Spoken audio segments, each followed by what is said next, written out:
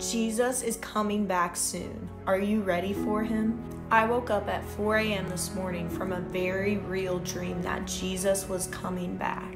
In the dream, my sister and I were having a sleepover with other girls in our childhood home. It was nighttime and we were watching scary movies. I was sitting by the window and suddenly I heard the sound of a trumpet blast, but I almost didn't hear it over the movie. I looked out the window and in the middle of the pitch black sky, I saw what looked like the brightest, most beautiful sunrise I have ever seen, and I immediately knew Jesus was coming back. No one else in the room seemed to hear the trumpet blast or know what was going on, so I went upstairs to get my mom, and she heard the trumpet too. We went outside on the porch together, and what appeared to be the sunrise was getting brighter and brighter.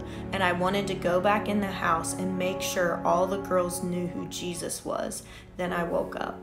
When I heard the trumpet and saw the sky in my dream, I was overcome with the fear of the Lord, and I began questioning Am I worthy of the Lamb who was slain? Are these girls worthy? Are we going to heaven? Is it too late to repent? When I woke up from the dream, the encounter felt so real to me, I began crying because of how strong I felt the fear of the Lord.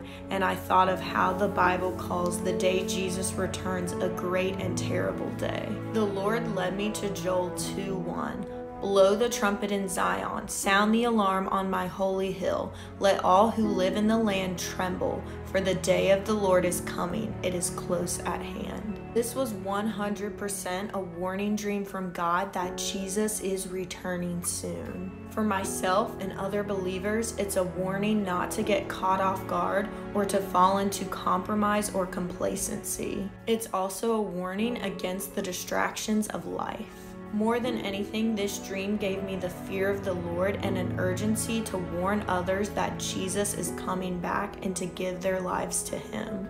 For unbelievers, this is a warning to you to repent and turn from your sins.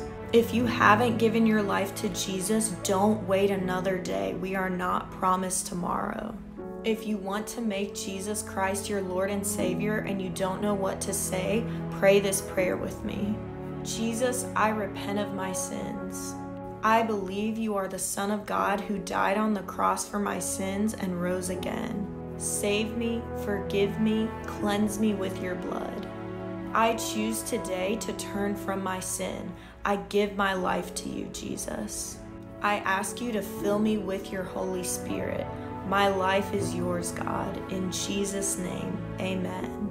Share this with an unbeliever.